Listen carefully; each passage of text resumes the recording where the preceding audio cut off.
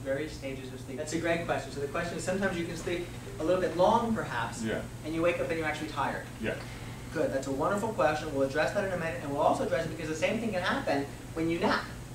Ever have it where you decide to take a nap so you can get refreshed, and you wake up and you're like, oh my god, and you're like drugged?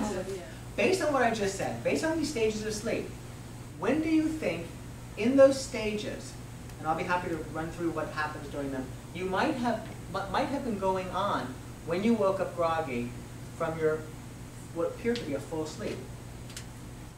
The, this this is the deep, yeah. the the deep sleep, Yeah, the deep which sleep. is stage three, right? Yeah, What happens is, is we cycle through this all night long. It takes about 90 to 100 minutes, hour and a half or so, to cycle from stage one through REM. And then once we do stage one once, we don't do it again. During the course of a, a- of a night, and a nap for that matter, we're going through these repeatedly. So REM sleep, for example, which is so important for, we believe, consolidated memory, part of that, maybe that decompression, certainly level three, the deep wave sleep is the, the slow wave sleep. The deep sleep is very important for that restoration and that, that compression, decompression.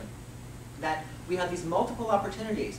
First it's REM for a little bit, then the next time we come around to REM again, it's a little bit more, then we come around again a little bit more. We might have five periods of REM sleep that increases over the course of the night that we're sleeping. And each one of those carries with it an opportunity for something to happen. Same thing with the deep stage three sleep. Something's happening in terms of the restoration and the repair in our body as we go through it.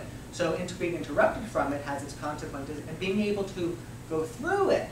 But if we, for example, have it where you've gone through and you've gone through your REM sleep, and then you're back with, say, the two sleep, stage two, which is sort of where you're ideally want to wake up. We want to wake up with that stage two, but you go a little bit further because it's just going to cycle into stage three. Now you're back in the deep sleep.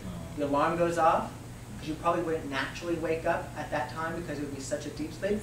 And you're like, oh, I'm so exhausted. A little bit longer, you'd have been out of it. A little bit before, you'd have been before. Um, but you may have woken up right in it, and that's what we'll talk about when we talk about napping. You want to take a little bit of a nap. It's going to cycle from level one, stage one, for a little bit, maybe 10 minutes at the most. Then stage two. That might be a good time to wake up. Then stage three, not such a good time to wake up. Then some REM sleep, if you can get that far through it in the middle of the day after studying in the morning or learning information, that could be absolutely terrific because there's this REM window to really take advantage of that stuff, right? And then coming back around. So how can we time the naps?